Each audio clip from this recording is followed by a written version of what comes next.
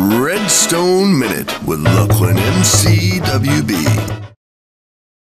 Hey, what's going on guys and welcome back to the Redstone Minute where I teach you something about redstone in under a minute. And today I'm going to teach you guys how to create an AND gate with a piston. So, we want to just do this here, that, and this, and we're done. That's how easy that is. So basically, we have both of these switches here. In order for this gate to work and for this to get power, both of these switches need to be down. Just like that.